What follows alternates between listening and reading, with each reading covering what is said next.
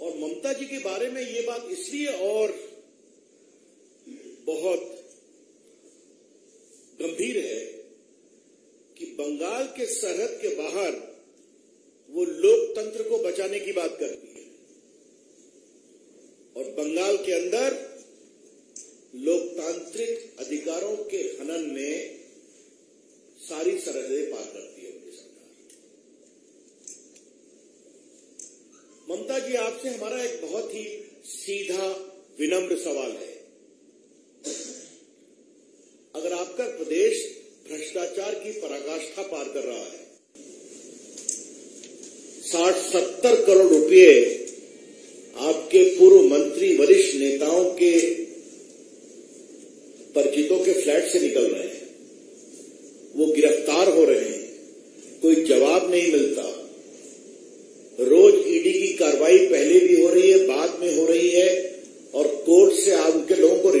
नहीं मिलता क्योंकि सबूत काफ़ी है। और आपने माँ माटी मानुष की बात की थी गुड गवर्नेंस की। और अगर उसका स्वरूप ये है तो उसके खिलाफ प्रोटेस्ट क्यों नहीं होना चाहिए? और प्रोटेस्ट करने आएँगे तो आप पिटाई कराएँगे, आप रास्ते बंद करा देंगे हमारी महिला नेत्रियों को जिस तरह से कल पुलिस ने पीटा है, वो सबके सामने है। हमारे विपक्ष नेता को अंदर कुछ भी नहीं दिया गया। हमारे एमपीज को, हमारे राष्ट्रीय उपाध्यक्ष दिलीप बाबू को, पूर्व अध्यक्ष राहुल सिन्हा को एमपी लॉकेट चटर्जी को उनके साथ क्या किया गया है सब टीवी पर आया है मुझे उसको रिपीट करने की ज़रूरत नहीं आदरणीय ममता जी मैं आपको आज एक विनम्रता से बात बताना चाहता हूँ बात थोड़ी कड़वी है, लेकिन आपको बताना ज़रूरी है। जो भी नेता और उनकी पार्टी इस तरह से पुलिस अत्याचार करते हैं, नागरिक अधिकारों को रोकते हैं, विपक्षियों को जेल में डालते हैं तो जनता उनका हिसाब करती है और आपकी पूर्व पार्टी की नेत्री इंदिरा गांधी का इमरजेंसी के बाद क्या हाल हुआ आप जानती हैं आपने वो दिन देखा है ममता जी मुझे तो आपसे एक और बात कहनी है।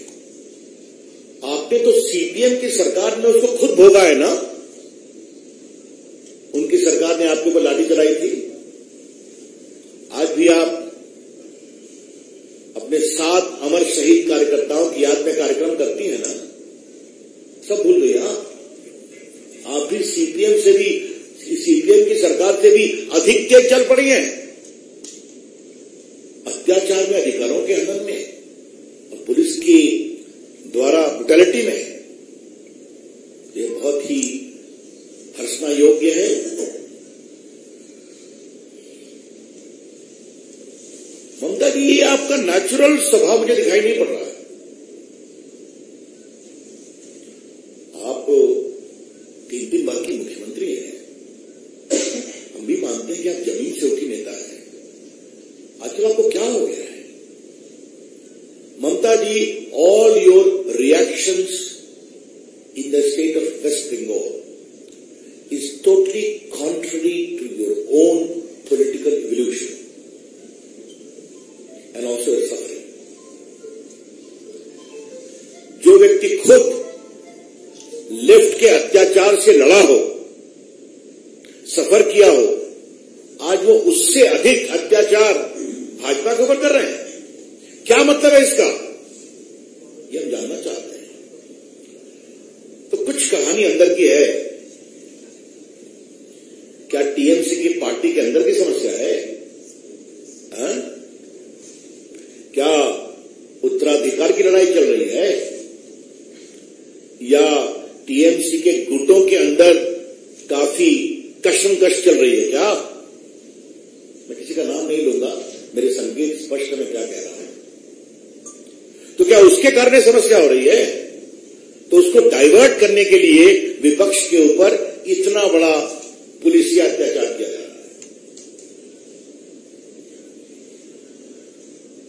मैं बहुत विनम्रता से कहना चाहता हूँ ममता जी को कि आप आप, आपकी पार्टी और आपकी सरकार जितना भाजपा के नेताओं, भाजपा के काडर पर अत्याचार करेगी, भाजपा उतनी आगे बढ़ेगी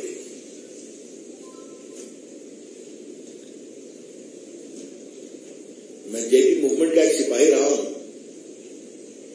उस समय हम लोग छात्र थे। मुझे याद है कि जेपी को रोकने की इंदिरा गांधी ने क्या क्या कोशिश नहीं की थी और उस कार्रवाई को रोक नहीं पाए। ममता जी, आपने भी बीजेपी के कार्रवाई को रोकने की बहुत कोशिश की थी। लेफ़्ट और कांग्रेस तो साफ़ हो गए, बीजेपी सेवेंटी सेवन इस के प्रवाह को मत रोकिए। जितना रोकेंगी, भाजपा उतना ही बढ़ेगी। ये बात हम कहना चाहते हैं और हमें आज बहुत गर्व है। हमारे नेताओं पर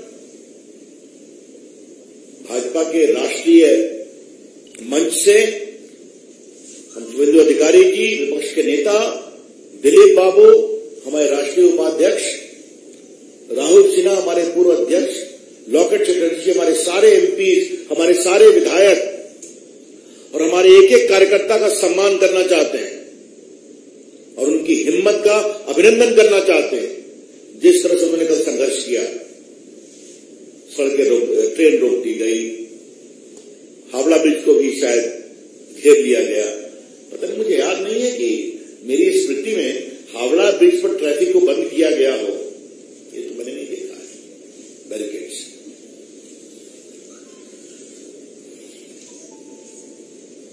तृणमूल का मतलब होता है जो मूल से जुड़ा हुआ पेड़ होता है रूटेड ममता जी, तृणमूल का नाम बदल दीजिए अब रूट से काफ़ी कटिंग हुए है हाँ? हाँ। जो व्यक्ति रूट से जुड़ा होता है वो इस तरह से अत्याचार नहीं करता मित्रों हमारे लगभग हज़ार कार्यकर्ता घायल हैं 400 कार्यकर्ता हमारे हॉस्पिटलाइज हुए। जहाँ इनिशियल ट्रीटमेंट के बाद उनको छोड़ा गया। हमारे 30 कार्यकर्ता अभी भी हॉस्पिटल में हैं। इनको गंभीर चोट लगी और बाकी हावड़ा स्टेशन पर सुकांता मजुमदार संतरागाछी में शुभेंदु अधिकारी स्कॉट से दिलीप घोष से चौड़े जाना था। लेकिन पुलिस ने तीनों को रोका। नेता, हमारे प्रदेश के अध्यक्ष, राष्ट्रीय उपाध्यक्ष, बाकी एमपी की बात तो मैंने आपसे की। हम स्पष्ट कहना चाहते हैं कि भाजपा की आवाज़ नहीं रुकेगी तृणमूल के भ्रष्टाचार के खिलाफ। और ये हमारा संघर्ष जारी रहेगा। इस बारे में हमारी बंगाल की पार्टी यूनिट विस्तार से विचार करेगी। इतना हम कह सकते हैं कि अगर हमारे कार्यकर्ताओं के ऊपर अत्याचार होगा, उनको अपनी बात कहने से रोका जाएगा तो हर संवैधानिक प्रक्रिया का पालन